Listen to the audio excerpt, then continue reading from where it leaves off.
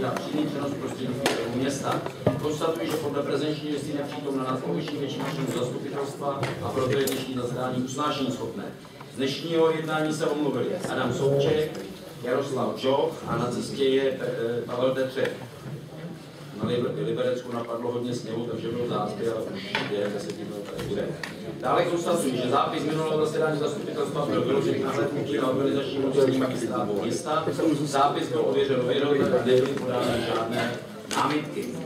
Pro dnešní zasedání určuji za ověřovatele zpracovaného zápisu magistra Rudolfa Řepku a inženýrku Renatu Zunovou. Zapisovatelkou dnešního jednání určuji pracovníci organizačního oddělení magistrátu paní Ivanu Pálfy. Dámy a pánové, všichni jste předem obdrželi pozvánku s navrhovaným pořadem jednání a já se vás zeptám, ale někdo členů zastupitelstva města ještě jiný návrh nebo připomínku. A nemáli, tak já poprosím eh, pana doktora Mareška, kterému jsme, kterého jsme pozvali eh, do dnešního jednání eh, k tomu spornému bodu o té boudě palivový kombinát Užín. Je to bod 43. Máte slovo, pane.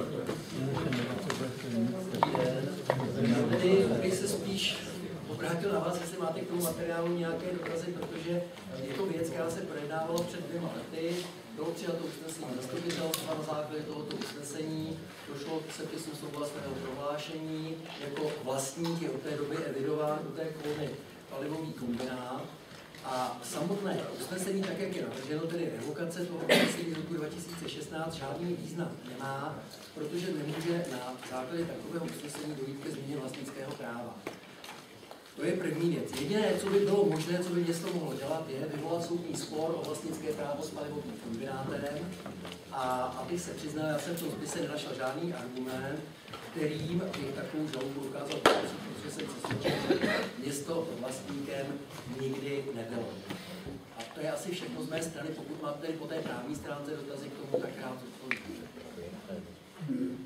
Dotazy nejsou, ale já nemám dotaz, ale jenom doplnění, že i kdyby nakrásně se to nějakým způsobem podařilo, tak není možné to, co byla představa těch navrhovatelů, že bychom my to někomu předali, ať družstvu nebo někomu jinému. My bychom to stejně museli prodat v podstatě za tu stejnou cenu, za kterou, kterou to nabízí ten eh, palivový kombinát. V dnešní době už to není možné, do družstva už to nelze převést, takže by, si nějak, eh, nějak by se ta situace nevyřešila že to bylo obsazené neoprávněně bez majetkového titulu, to je jasné. Jediný, kdo by možná mohl eh, dělat vydržení, je ty lidi, kterých se to týká vůči, vůči kombinátu. Ty by možná mohli uplatnit právo vydržení, že už je to dlouho, ale to nás se, nás se netýká, to je jejich věc. Takže tolik jenom děkuji, pane doktore, jestli nejsou dotazy, děkuji za vysvětlení.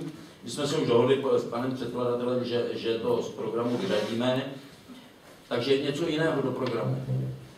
Pokud není, tak budeme pozdělce hlasovat nejprve o vyřazení toho bodu 43, je to tak? 43, takže pozdělce. Kdo je pro, kdo je proti, kdo se zdržel?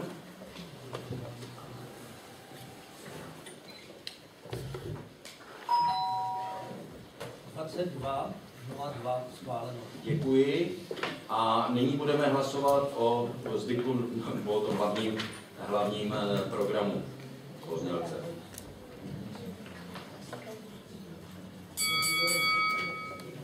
Kdo je pro, kdo je proti, kdo se zdržel?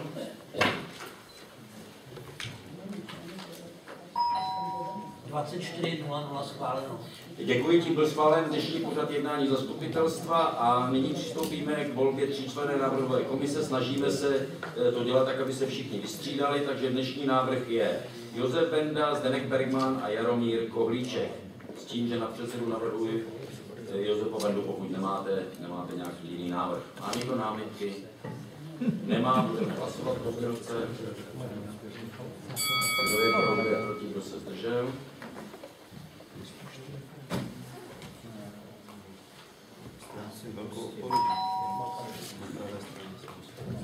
20 schváleno. Děkuji a prosím eh, členy na schválené návrhové komise, aby zase ty a zaregistrovali se do hlasovacího zařízení. O návrhu usnesení projednávanému bodu budeme hlasovat okamžitě při poskončení diskuze a já prosím návrhovou komisi, aby přesnesení navrhovaného usnesení po jeho odsouhlasení předala písemně zapisovatelce dnešního jednání. Vážení členové zastupitelce, budeme pokračovat podle schváleného programu. A prvním bodem je nejdůležitější bod dnešního jednání a to je návrh rozpočtu statutárního města Teplice na rok 2018 a návrh střednědobého výhledu rozpočtu statutárního města Teplice na roky 2019 až 2022 a já poprosím vedoucího finančního podporu, paní Vedase, který má sledovníky, jste jako paní vlastně Takže máte slovo. Tak, vážené dámy, vážení pánové, děkuji za slovo. Poprosil o eh, prezentaci. Připravili jsme si pro vás prezentaci, abychom si eh, zopakovali a připomněli hlavní eh, parametry návrhu rozpočtu na rok 2018 a střednědobého výhledu eh, rozpočtu na roky 2019 až 2022. Eh, Návrh rozpočtu byl zveřejněn od 28.11. letošního roku, to znamená, že jsme splnili zákonnou podmínku, eh, to je minimálně 15 dní před projednáním zastupitelsku. Stejně tak střednědobý výhled rozpočtu byl zveřejněn a byl k dispozici k nahlédnutí jak na stránkách města, tak v informačním středisku zde na magistrátu na náměstí Svobody. Eh, Jenom bych eh, se chtěl omluvit, máte na stole eh, bod, bodu 1 výměnu stanu dvě přílohy usnesení. Já děkuji jednak panu Gáčkovi i paní ředitelce Smanečkové, že si všimli drobné chyby a to bylo v investičních účelových příspěvcích, kde v podstatě došlo k posunu dávku a knihovna by v podstatě neměla na projektovou přípravu rekonstrukci podkroví. Takže eh, to je ještě přijmete, doufám, že přijmete teda moje posypání popelem hlavy a eh, můžeme pokračovat dál. Proč jsme, proč jsme eh, vlastně ten rozpočet letos eh, předkládáme v tomto, eh, v tomto složení? Věřím, že pro některé může znamenat eh, trošičku méně eh, přehlednou variantu, ale jednak eh, rozpočet zavádíme do učitelských korunách a jednak eh, chceme zautomatizovat ten proces převodu schváleného rozpočtu do určitého systému. Tak to je ten důvod, proč vlastně máte rozpočet v trošku jiné struktuře, ale odpovídá eh, sklad, rozpočtové skladbě a v případě analýzy víceméně ty výstupy budou odpovídat i tomuto rozpočtu. Eh, Pro vaši informaci vidíte, že eh, příjmy že příjmy roku 2018 jsou nastaveny téměř na miliardu. Eh, Na druhé straně dochází k výraznému navýšení meziročnímu u jmenovitých neinvestičních akcí a co je podstatné, to je vlastně eh, ta částka kapitálových výdajů, eh, kde přesahuje 952 milionů a je to přes 53,7 celkových výdajů. Eh, Výsledkem tohoto, té- těchto masivních investic eh, je vlastně saldo ve výši přesahující 776 milionů. Eh, Město si tento, toto masivní investování může dovolit. Připomeneme si na dalších obrázcích, že ve zdrojích očekáváme mili- minimálně miliarda 111 milionů. Nyní bych eh, přikročil eh, k dalšímu obrázku. Tak. Eh, Výchozí parametry rozpočtu. Vidíte, že meziročně dochází ke změně zákona o rozpočtovém určení daní, kde se zvyšuje podíl DPH z 21,4 na 23,58 Dále dochází eh, k úpravě eh, koeficientu eh, počtu žáků, kde se zvyšuje o 2 setiny na 0,09 a ke snížení koeficientu postupných přechodů. Čili tady vlastně je ten příklon k tomu, kdo bude mít více žáků, bude mít více rozpočtového určení. Eh, V roce 2018 lze plně očekávat dopad zákona o eh, hazardních hrách a samozřejmě i dopad eh, obecně závazné vyhlášky, kde by mělo dojít provozování hazardu pouze v kasínech. Pokud byste narazili a víte, že ještě existují přepicí herny, v podstatě ministerstvo financí zahájilo veškeré činnosti k tomu, aby odebralo licence těmto hernám a to samozřejmě nějakou dobu trvá. Takže ten souběh v podstatě pro hazard v roce 2018 z hlediska tlaku i zatížení z hlediska zákona nového bude významný a já se k němu potom vrátím při probírání té hodnoty odhadu příjmu v rozpočtu. Nedochází k úpravě sazeb daně z přidané hodnoty, je očekáván lepší výběr daní, bude zavedena další etapa EET a dá se říct, že kontrolní hlášení samozřejmě také přináší lepší výběr v oblasti DPH. Lze očekávat navýšení dotace na, na výkon státní zprávy je vyšší než 5% a dále dochází k legislativní změně výše platů veřejného sektoru. Pokud jste si prohlíželi rozpočet, tak ve výdajích samozřejmě vidíte, že rozhodující položkou vlastně nárůstu jsou ve platy. Rozhodující pro celostát, pro inkaso města jsou samozřejmě celostátní výběr daní, a ten je nastaven na rok 2018 ze strany ministerstva velice optimisticky. Eh, makroekonomický vývoj eh, víceméně můžeme se opřít o prognózy eh, České národní banky, o prognózy ministerstva financí a vidíte, že v podstatě HDP má poměrně masivně dále růst. Pokud byste porovnávali hodnoty, které máte v návrhu rozpočtu, tak samozřejmě ty jsou historičtější, toto je aktuální prognóza z listopadu 2017 a ta ještě více posouvá eh, k tomu optimismu ty jednotlivé, jednotlivé předpoklady.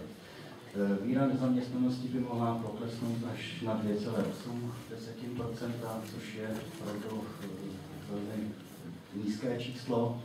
Současně očekávám růst mest a platů, zase z té prognózy je tam 7,6 a je očekávána vyšší spotřeba domácností o 3,5% což by mohlo obchodu měli udržet podobný trend růstu o 4 Průměrná míra inflace by měla dosáhnout eh, podle ministerstva financí 2,4 Je nadále očekávám růst exportu.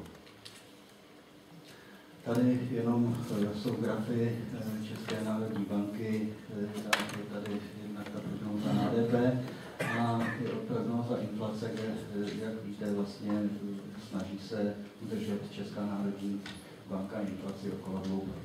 Čili dá se říct, že inflace predikovaná bude na touto hodnotou.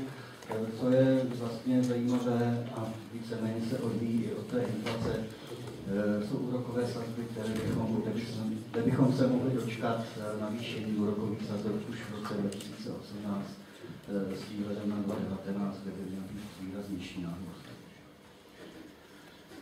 Zde připomínám klasickou strukturu příjmů města, abychom si uvědomili, kde v podstatě město může nějakým způsobem ovlivnit své příjmy, Eh, vidíte, že 81% v roce 2016 tvořily daňové příjmy, eh, z toho 75,23 byly sdílené daně daně z nemovitostí a daně z nemovitostí 5,3%, eh, čili přes 80% jsou, je rozpočtové určení daní z těch daňových příjmů a jak vidíte, místní poplatky téměř zanedbatelné procentuálně a ostatní daňové příjmy dá se říct, tam jsou rozhodující příjmy z hazardu a příjmy ze správní poplatku.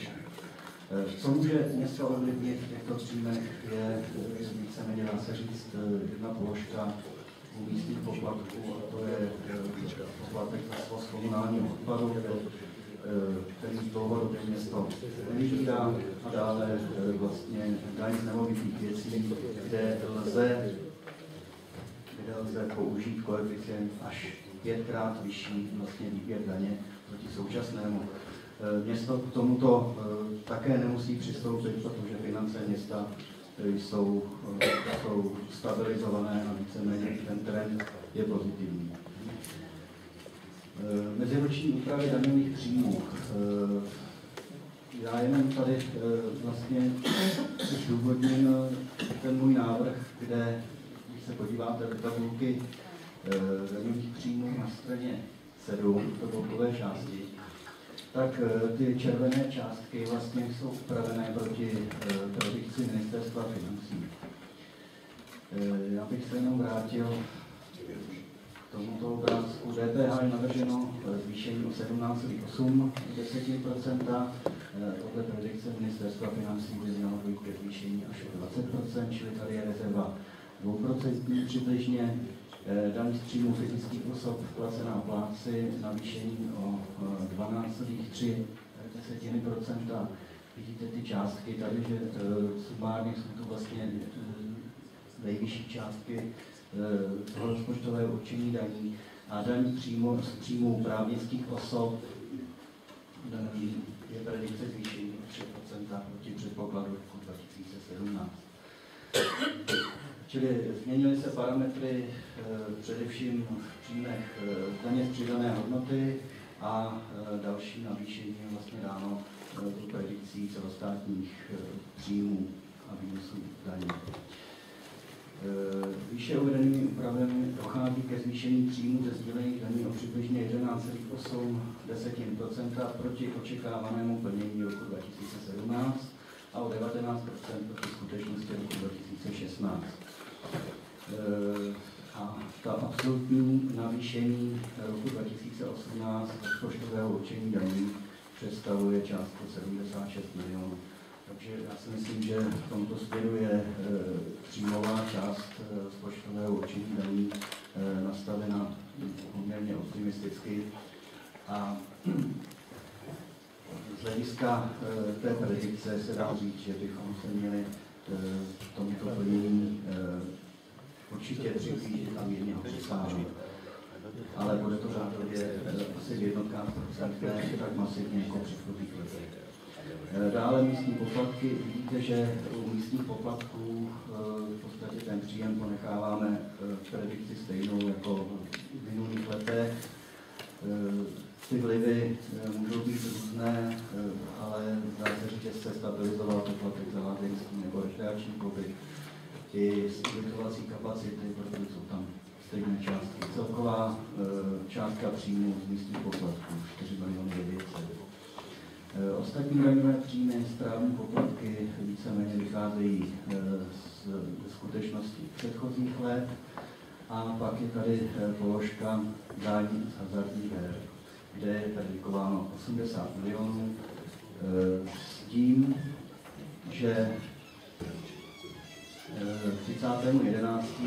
letošního roku když tento příjem přesáhl 96 milionů. Tady vlastně v tom vašem materiálu je 80 milionů. Z tohoto důvodu se domnívám, že i přes ty negativní dopady pro tuto oblast podnikání bude příjem ve výši 80 milionů v roce 2018 naplněn. Celkové eh, daňové příjmy jsou meziročně navrženy o 6% vyšší proti předpokladu roku 2017, to je o téměř 50 milionů. To jsou, jsou to čísla. Pokud porovnáte časovou řadu, vidíte, že v podstatě posledních eh, letech dochází poměrně k dynamickému eh, nárůstu, odpovídá to růstu, růstu hospodářství a výběru daní.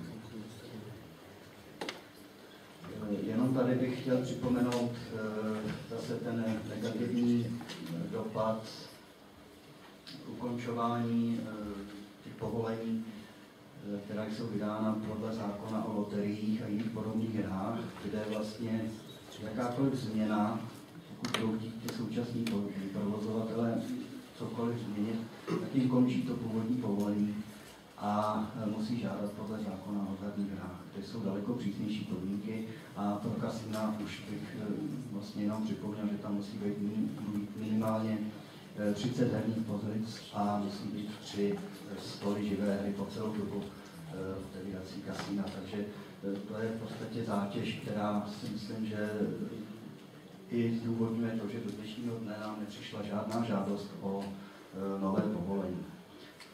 83% všech zařízení v podstatě by mělo skončit do toho 6. měsíce roku 2018.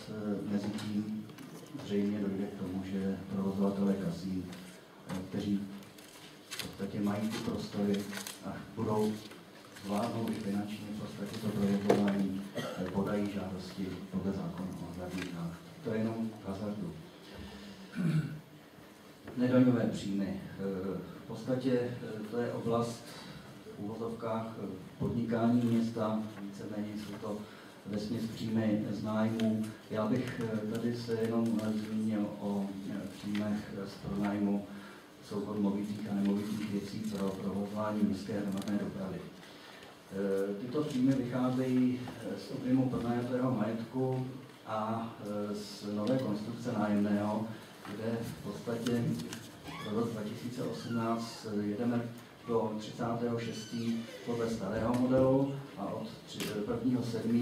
je nastaveno nájemné podle odhadu věcí nemovitých a zbývající část odpovídá, odpovídá určitým odpisům. Takže je to taková kombinace.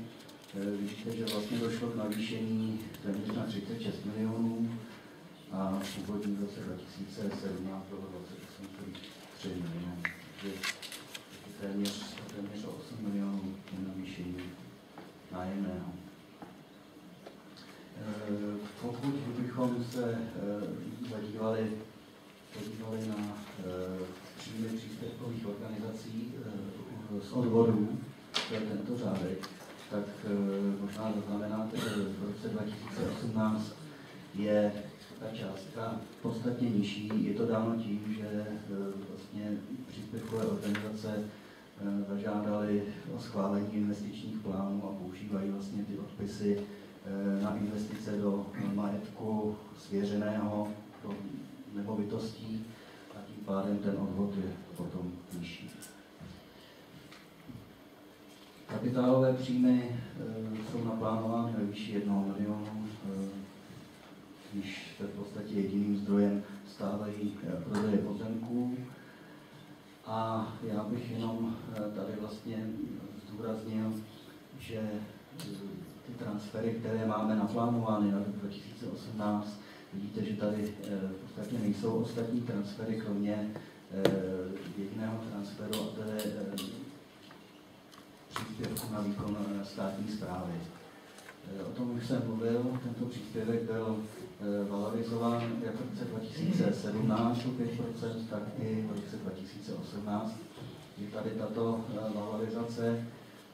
Současně dochází k financování podání žádostí o občanský průkaz, kde dostáváme za jeden podaný návrh 107 korun a ještě jsou financovány opatrovanci podle toho, kolik máme uzavřeno smluv, 29 tisíc na každého opatrovance. Takže to je financování e, státní zprávy. Já bych se ještě vrátil tady vlastně k těm hodnotám. E, tady by se zdálo, že v podstatě ta celková hodnota příjmů je pouze o e, 24 milionů vyšší.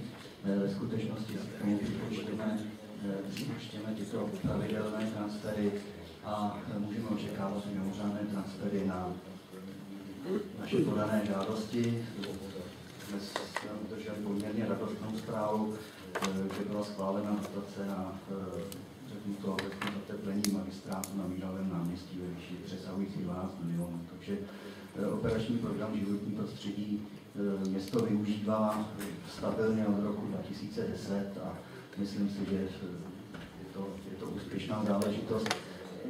Jako ještě radostná v podstatě myslím v tom je, že vlastně na, na střeše toho magistrátu bude fotovoltaika. Bude první průkopnický.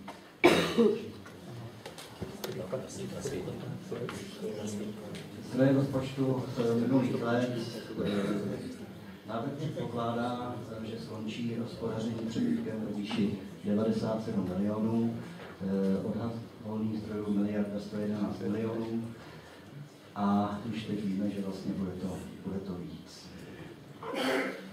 V následních, v následujících letech je vidět, že vlastně to masivní investování malinko zredukuje zdroje ale dostávají se, myslím, na eh, rozumnou úroveň bohatě zajišťujících jakýkoliv eh, výpadek eh, případných příjmů. Tak, důvody navýšení vlastních zdrojů. V roce 2017 je odhad dosažení vyšších příjmů o 50 milionů, to bylo ještě před tou utrženou dotací.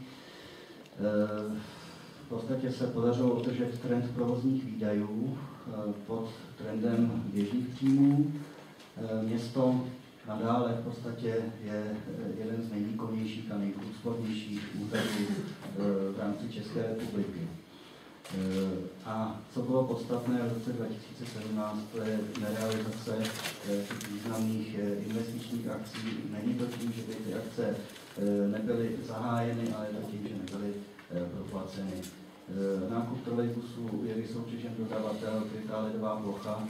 Jak víte, když eh, stavba probíhá obdobně akvacentrum, eh, jediné, co vlastně nebylo fyzicky zahájeno, je Dům kultury, rekonstrukce pohaje a já tomu říkám vlastně ta, ta klimatizace, včetně rekuperace celého objektu, což je zdlouhavější proces z hlediska povolovacích řízení vůbec těch návrhů, které tam probíhají.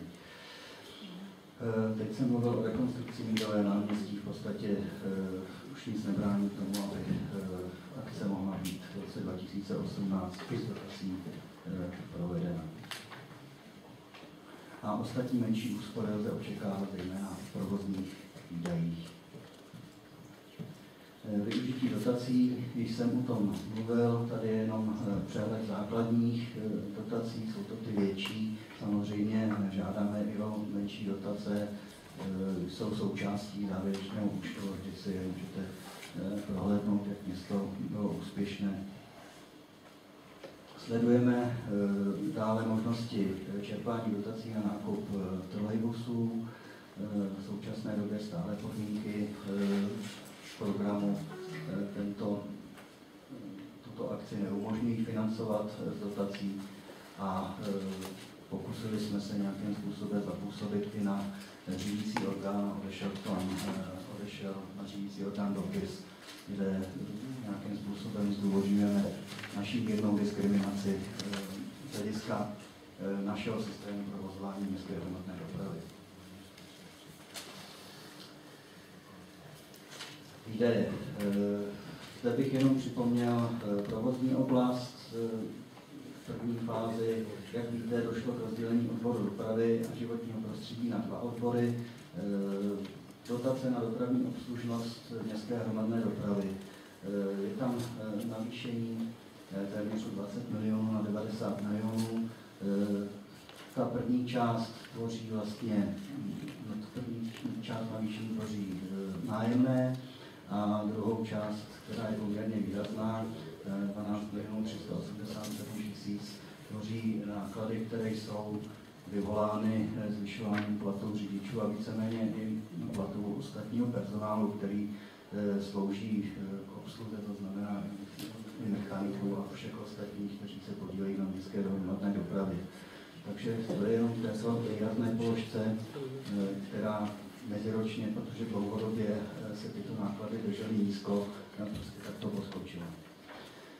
Senior slevy je navrženo navýšení 800 tisíc, kde eh, letošní předpoklad, tak jak teď dobíhá rok, opravdu asi dojde k naplnění této částky, takže 8 milionů 800 tisíc eh, bude vyplaceno senior slevy. Eh, čištění zemní údržba komunikací zůstává bez změny a běžná údržba opravdu místních komunikací víceméně podle stavu si vyvolaly navýšení 3 miliony 100 tisíc. Celkové navýšení 24 milionů 200 tisíc, 16 eh, Odbor životního prostředí tam dochází k jednému navýšení zajištění sběrosvozu a odstranění komunálních odpadů, navýšení o 1 850 a je to zejména z důvodu navýšení četnosti svozu bioodpadu, které tvoří zhruba 1 200 000. podporu tajemníka opět je tam eh, výraznější navýšení, které činí přes 21 milionů oproti schválenému rozpočtu roku 2017.